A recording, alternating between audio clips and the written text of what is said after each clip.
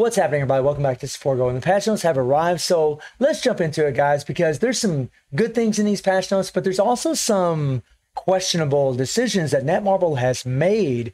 And, you know, they have gave some of the Sinister Six some uniforms, right? And they've also gave some of the Sinister Six some awakened skills, which is pretty unneeded in all honesty, guys. I mean, so they have new uniforms for Green Goblin, Dr. Octopus, and Electro, which is great. That's awesome. And Electro, Mysterio, Vulture, and Sandman have awakening skills. So Vulture and Sandman get awakened skills. Okay, the you know, and the thing about this, guys, is you know they've done this in the past, right? They've done this with you know Heimdall, they did it with Elsa. I mean, and, and it just we all know how this goes. The character gets an awakened skill, and we never level them up. And the only reason we would level them up is for story mode in order to get some more fragments, right? Especially now considering we can auto farm, and that's really the purpose of these two. It's just so that we have to farm in the story mode uh, to level these characters up. I can tell you guys that there's no way in hell I'm going to awaken them. I'm not going to use resources on them. I'm going to use resources on characters that actually can are playable, can actually be used. Uh, these characters are abysmal, guys. They're terrible right now. They need uniforms, and this is a practice that I thought Netmarble stopped. I was hoping that they wouldn't do this crap anymore, and it looks like they're going to continue it. Now, we could get something later on for Vulture and Sandman. That's altogether possible, especially for Sandman since we just had the movie. Are they going to do it? Who knows? Who knows with Netmarble? Sometimes it's difficult to tell what the hell they're going to do. But there is some other things that really puts a sour taste in your mouth in this update. But I do think we're going to get something to rectify it, right? I do think something's going to be coming. So the first thing we have, guys, is Green Goblin's uniform, which makes him a speed supervillain, which is fine, right? And, you know, he gives him chain hit damage by 15%, which is great. It gives him an all attack to all allies, which is awesome, by 40%, ignore target dodge rate by 40%. And, you know, this is an amazing leadership, right? And especially with that ignore target dodge for null that's awesome. But there's a problem. He doesn't have a tier three or awakened skill. And this is what I mean by I think later on they're going to give us something to rectify this because honestly, Netmarble would be have to be pretty freaking stupid to give us Green Goblin, a godly requested character, right? That didn't get a tier three. There would be some major ranting guys. Like uh I don't think just for me, I think from everybody. I think it would be huge. There's already people complaining about it. Now, I'm going to be reserved and I'm going to wait because I think maybe in a week or two weeks, we'll probably get a tier three for this character. You know, he didn't get an awakened skill like the others. So I, I pretty much think he's going to get a tier three. They they need to give him something because if not, then this uniform doesn't mean anything for most players. Nobody's going to buy a uniform to a character that doesn't have a tier three or awakened skill unless you're brand new or unless you love Green Goblin, which a lot of us do. I love Green Goblin. He's freaking awesome. But without an awakened skill or, or tier three, what are you going to do with them? Right? When we play in Shadowland, ooh, right? It's it's not really all that difficult unless you're a brand new player, right? I mean, he's got some decent things in his kit 30% increase of energy attack. Uh, they apply to all villain allies. I mean, guys, again, this is amazing, right? It's amazing, right? So his leadership, like, a, I mean, it goes to all allies, but with that leadership to villains, this is a nutty, nutty freaking support character. And that's unfortunately another worry I have about Green Goblin is that when I see these kinds of things, right, this kind of leadership and this kind of uh, tier two passive, I tend to think, oh man, he's going to be a freaking support, right? I mean, I'm pretty sure he's going to get tier three, right? But I really wanted more for Green Goblin. I mean, seriously. But I mean, even but if he is, he'll always be relevant, right? Like all the other support characters. So there is that, right? But he still might be strong. We just don't know.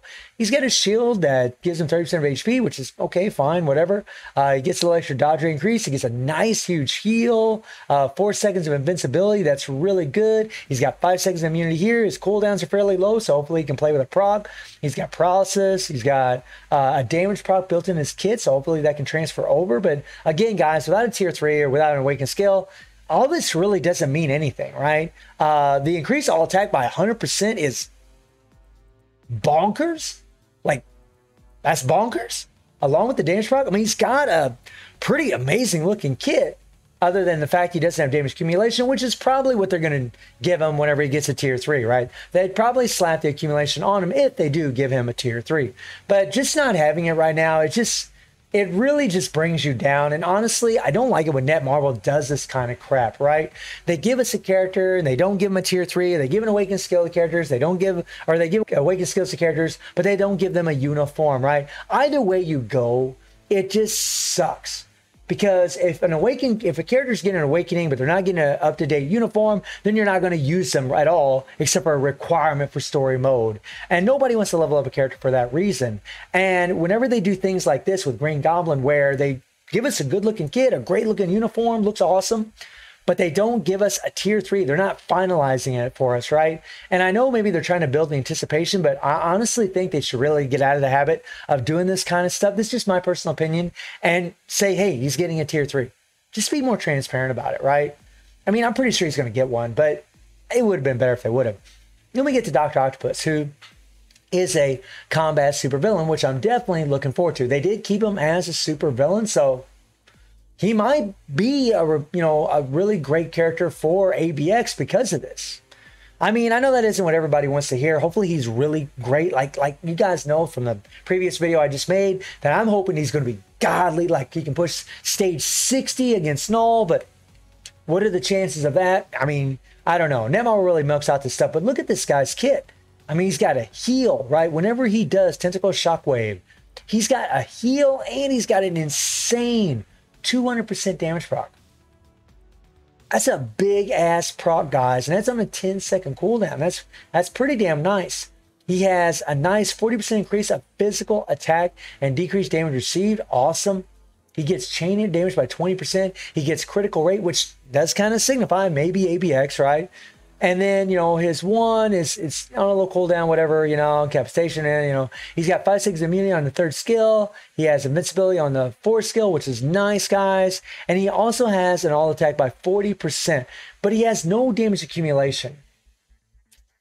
And then that makes me worry. It's like, oh man, you know, he might hit hard and he might do amazing in ABX, but I just wonder, and man, with that damage proc, I mean, I don't know. He might be, he might be really awesome. He looked awesome. Looked like he done an insane amount of hits, and with that uh, chain hit damage that he's got, I mean, he might be really strong. We'll see. And then we get into Electro, who is a speed supervillain. Also, he gets a decreased damage received, increased damage dealt to targets with shock effect by 90%. Excluding bosses, ignore enemies' damage decrease by 30%, which is more of a PvP thing. And then he has uh, increased all attacks by 60% to Sinister Six allies.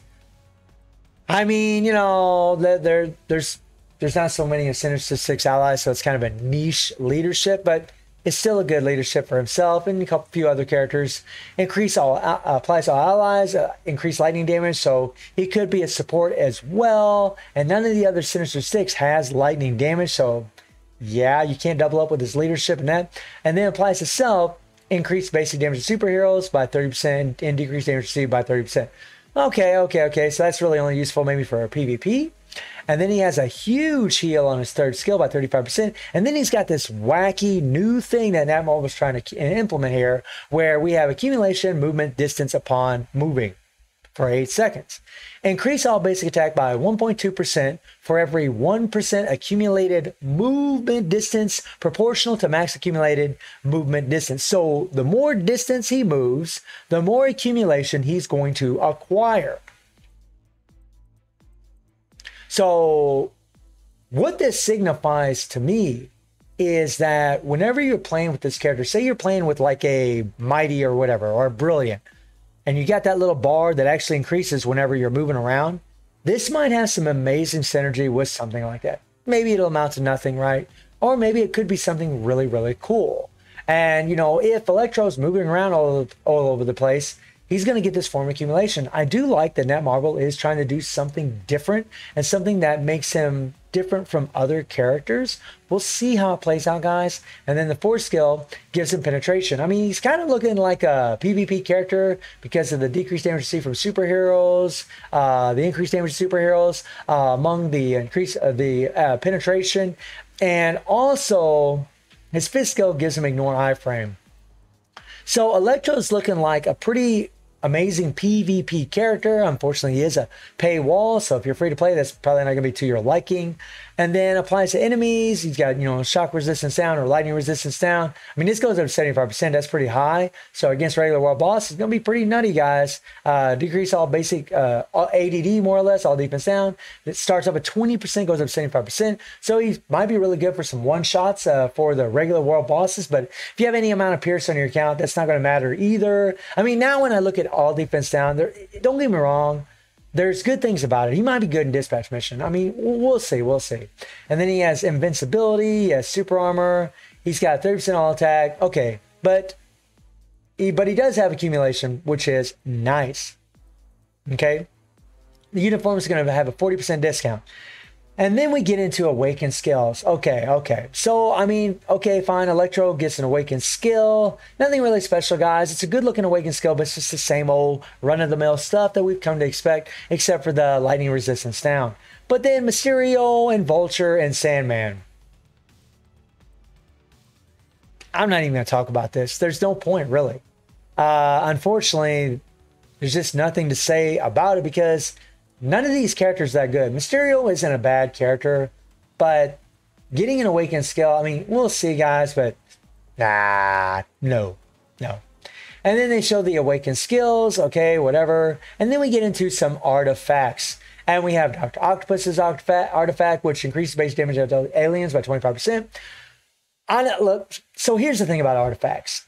I personally don't get excited at all when I see artifacts. I don't because I know what are the chances of getting a six star artifact or even a four star artifact or even a or even i am sorry even a five star artifact right? What are the chances? Unless they do some kind of event where we can actually get an artifact guaranteed like they what they've done in the past right? I don't get too excited about this even if it has a good skill. Even if it has a good effect I just don't care right? I mean let me know in the comments how you guys feel whenever you see these artifacts but I mean, it's a decent artifact. I mean, you know, increased alien damage for 25% is good for certain world bosses. That's actually really good. The creature thing's kind of whatever. There's only a couple characters with creature. Uh, Green Goblin, you know, getting the extra uh, all attack is nice. There's no cooldown on it. Uh, you know, Sandman, I mean, Sandman Mysterio and Vulture, I mean, I'm just kind of like, I mean, is it really going to matter? No. Uh, Electro, I mean, it could be good. I mean, this all attack can go up to 60%. So, I mean, it, it could be really, really strong for him. But I mean, I mean, guys, you know, you can see the dislikes, although, you know, this really isn't a good gauge to go by. There's usually a lot of dislikes in the forum, even when we have a good, awesome update. But this update to me just looks like, I don't know, man. I really wish they would have just clarified whether or not they were going to give tier three to Green Goblin. I'm pretty sure they will. And I really wish they would have gave uniforms to Sandman and Mysterio, right? To the and Vulture, right? Like, and they might still do that. I mean, they might still give them uniforms, although I wouldn't hold my breath for that. And I'm pretty sure they're going to give a tier three for Green Goblin. I, I you can pretty much count on it that they're going to do that.